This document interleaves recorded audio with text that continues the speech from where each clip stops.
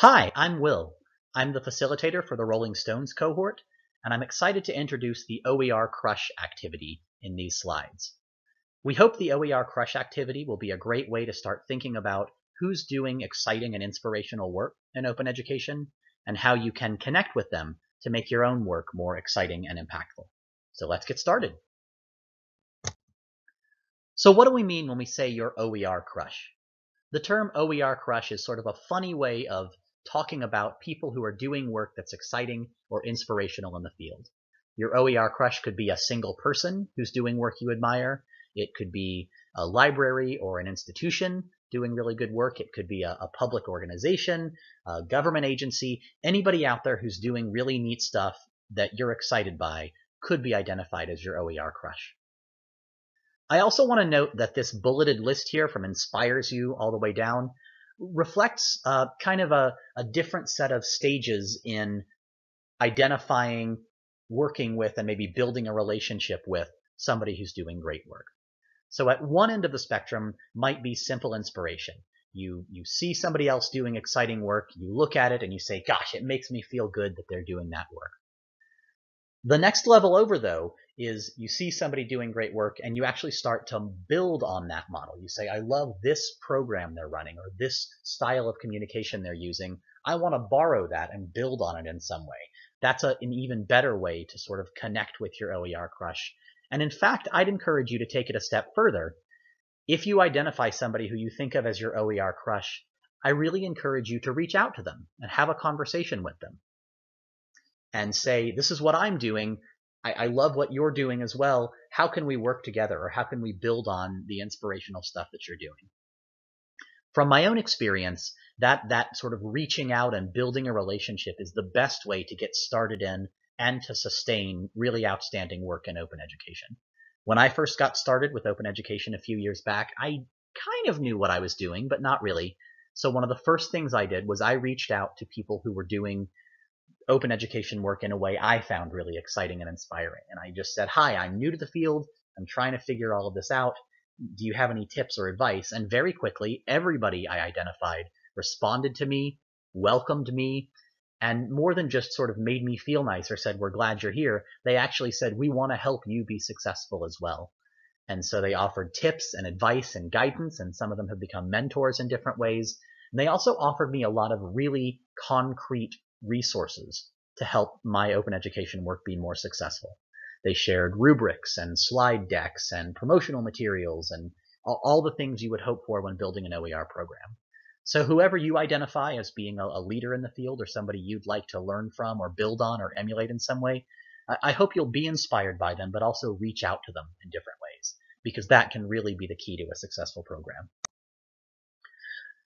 So to sort of set things up, I'll talk some about a couple of my current OER crushes. The first OER crush I identify here is Affordable Learning Georgia. Um, I mention ALG because I think they are doing system-wide work as well as anybody that I know of doing that sort of work. They support authoring textbooks and course transformation. They do conferences. They do they do everything you would hope for from a system-wide effort. And when I first got started in open education, I looked at ALG as as really just the sort of inspiration that I talked about a minute ago. I thought that's really cool. I don't know if I'll ever get to do anything like that, but I'm so glad it outs there. It's out there. It helps sort of showcase the potential of open education. As I've moved forward in my career, I've had the opportunity to see open education work in my state grow from sort of just one person at one institution to uh, system-wide and then eventually some statewide work as well. And so it's been great to be able to connect with and build on that relationship with Affordable Learning Georgia. Um, as my own practice has expanded, they've been hugely beneficial to me in the work that I want to do, and I hope that I've done some things that have been useful to them as well. So that's one example of an OER crush. A second example is the Open Pedagogy Network. If you're not familiar with OPN, um, it's sort of run by and curated by Robin DeRosa and Rajiv Jhangiani, who are two of the, the sort of big thinkers in open pedagogy as a thing. And it serves a couple of different purposes. One is it, it brings together these sort of narrative discussions about open pedagogical practices. If you want to know something about ungrading, here's the story of one person who tried ungrading. If you're interested in the WikiEDU platform, here's a narrative account of somebody engaging with the WikiEDU platform and talking about how it went for them. That has been really useful for me as I've sort of dipped my toes into open pedagogy because it has helped me take this sort of high level abstract term, open pedagogy, and make it real, make it concrete in some sense. I can say, oh, that's what they mean when they say this thing or this thing. OPN also has some nice sort of deep philosophical dives on the why of open pedagogy, and I find those really helpful and inspiring as well. So just like with the beginning of Affordable Learning Georgia, OPN has been a really nice way to, to be inspired, to just get, get excited and revved up about the potential of what we can do here. Um, also like Affordable Learning Georgia, as my career has progressed, I've had the opportunity to build on that initial sort of inspirational crush thing and turn it into more of a, a, sort of shared model or even partnership in some sense. I'm currently involved in a project called the Scholarly Communication Notebook. Hey, there's that notebook thing again. Um, and I've I've really benefited tremendously from borrowing their model and from talking with the folks who run OPN about why they did this or how this has worked out, etc. So those are two examples of OER crushes, people who inspire me, who are doing work that, that means a lot to me, but also that have offered models and partnership and guidance uh, in ways that have had really concrete effects on the open education work that I've done. So those are my OER crushes. I'm really excited to hear about your crushes. So what we're going to ask you to do now is to choose an OER crush that aligns with one of, or at least one of your SMART goals that you developed earlier, and then talk about it a little bit. So if you go to this link that's down at the bottom of the slide here, uh, you'll find a whole set of documents, and one of those is called OER Crush, and it's going to look something like this. One side of it is going to have a set of resources on where to find potential OER crushes. Uh, it has this uh, Google Doc created by the Open Textbook Network, the OER World Map, and SPARC Connect OER. Those are three great places to find an OER crush. But of course, there are plenty of other places as well. You might find your OER crush on Twitter or at a conference or maybe even sort of across from you in your cohort. There might be somebody doing work that's exciting and inspirational to you. So because it's a Google Doc, you can also add your own resources in the doc itself. But the first thing we're asking you to do is to try to think about who's doing work that's exciting and inspiring to you. that's maybe meaningful and offers a model for what you'd like to be doing with your own OER program. So start with that side of the worksheet. And then once you finish that, flip it over and on the other side, you'll find a document that looks something like this.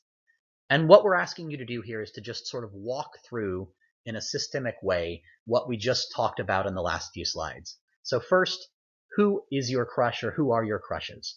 What program or programs or people are doing work that's exciting to you, that's inspiring to you? So write a couple of those down. Then think about the SMART goals you've designed um, and start to do that preliminary work of alignment. I'm inspired by this group, and gosh, I wonder if that could help me meet this goal in some way.